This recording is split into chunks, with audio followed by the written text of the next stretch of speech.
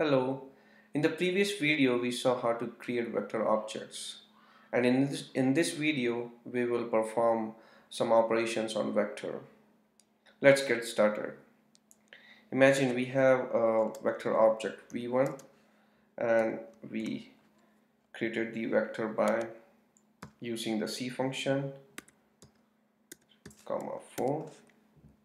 okay we want to add 2 to this vector. So we would write v1 plus 2 this would add 2 to each of its elements. And so 1 plus 2 3 2 plus 2 4 3 plus 2 5 4 plus 2 6 I want to multiply this vector by 3 okay again 3 will be multiplied to each of its elements and we get this result. Okay so far so good. I want to divide this vector by 2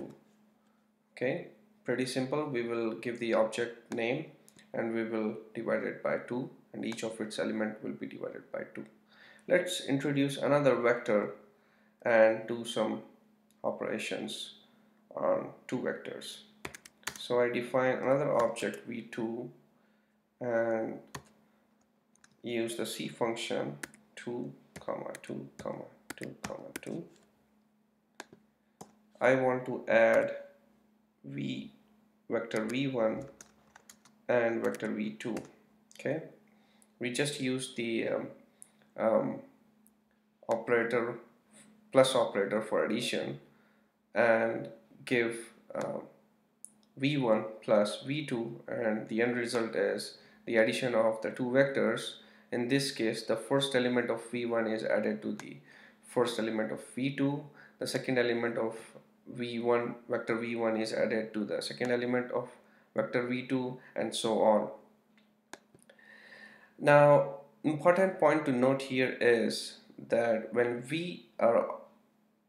performing operation on two vectors especially in this case if we see um, we, we are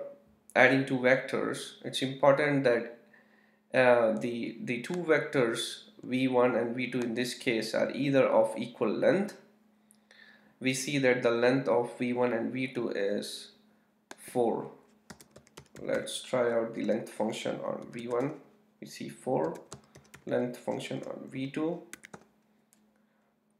4 the length of these vector objects should either be equal or the length of the vector um, object having a longer length should be multiple of the length of the object of shorter length. What I mean is let's let's um, see this example. Let's introduce another vector object v3 again using the c function 2 comma 2 okay? V1 plus v3 okay? So in this case what happened is we the length of v3 is 2 the length of v1 is 4 4 is multiple of 2 and the way the operation would happen is the first element of v1 is added to the first element of v3 so 2 plus 1 gives us 3 the second element of uh, the second element of v1 is added to the second element of v3 which gives us 4 and after this um, the the vector v3 is added to the remaining of the elements of v1 so 3 plus 2 gives 5 and 4 plus 2 gives 6 now imagine we say that v3 is 2 comma 2 comma 2 in this case the length of v3 is 3 and the length of v1 is 4 which 4 is not multiple of 3 and if we now perform operation v1 plus v3 it will throw an error it says longer object length is not a multiple of shorter object length. So that is what I was trying to explain earlier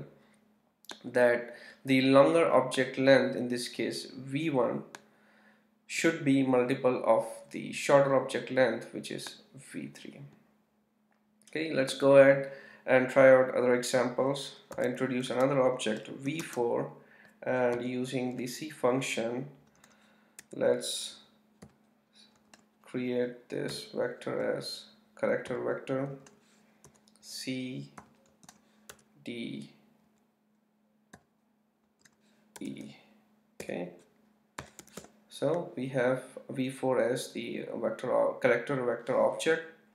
And let's try to uh, browse through the elements and try to extract the uh, elements from this vector. We do so by using square brackets and so if I say I want to browse C from this vector I would type the position of this element which is 3 the first is A second is B third is C. So I would put v4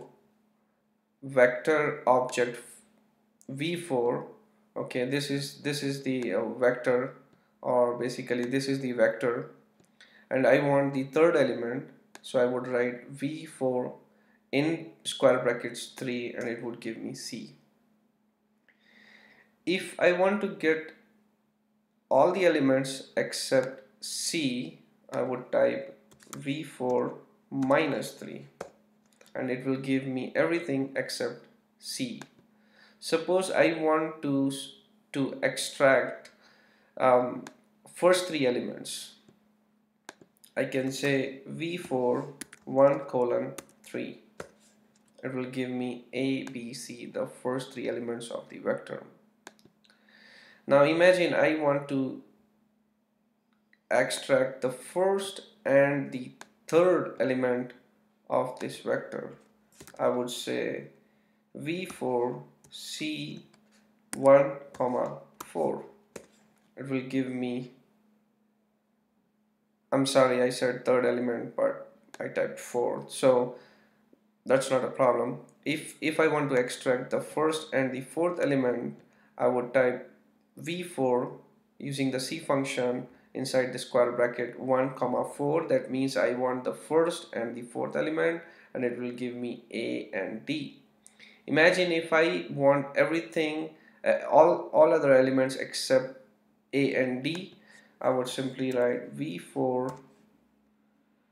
minus C 1 comma 4 and it will give me all other elements except A and D. So this is pretty much um, how we extract uh, the elements um, from a vector object. It's also called indexing